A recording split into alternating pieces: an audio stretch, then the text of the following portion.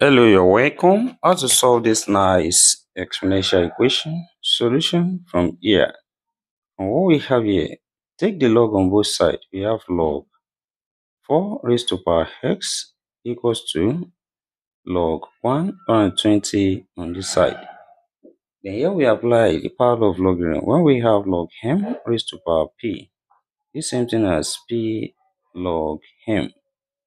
That is here, this becomes x log 4 equals to log 120 from here. Then next step, divide both sides by log 4. That is, divide this side by log 4. Also, divide this side by log 4, which implies log 4 cancelled each other here. And we have x equals to log 120 over log 4. Then next step here, we can express 120 as 4 times 30, which implies this becomes x equals to log 4 times 30 over log 4.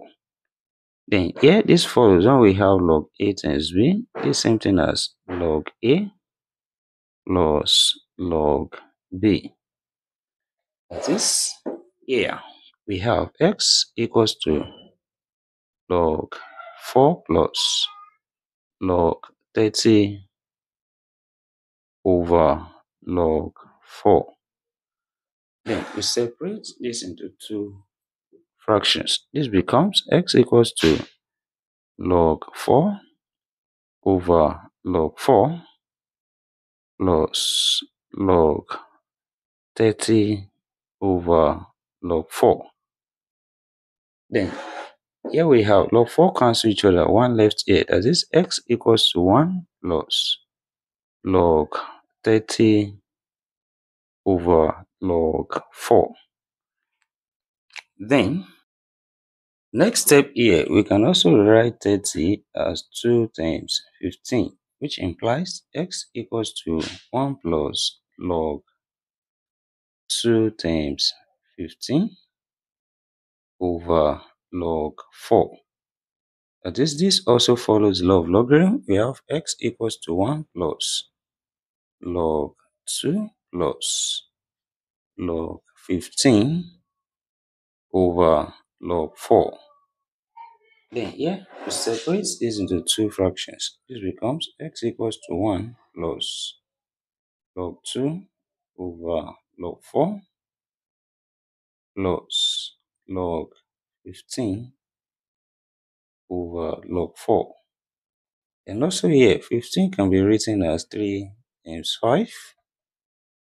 Then here, this becomes x equals to 1 plus log 2 over log 4 plus log 3 times 5 over log 4.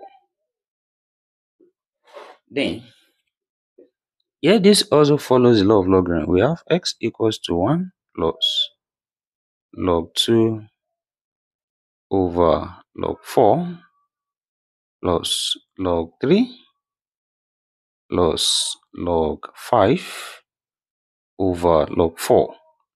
Then here also, separate this into two fractions and we have x equals to 1 plus log 2 over log 4 plus log 3 over log 4 plus log 5 over log 4. Then here we can write 4 as 2 times 2, that's 2 square. And this becomes x equals to 1 plus log 2 over log 2 square plus log 3 over log 2 squared plus log 5 over log 2 squared. Then, here we apply the power of logarithm. 2 comes here, 2 comes here and also here. And this becomes x equals to 1 plus log 2 over 2 log 2 plus log 3 over 2 log 2 plus log 5 over 2 log 2.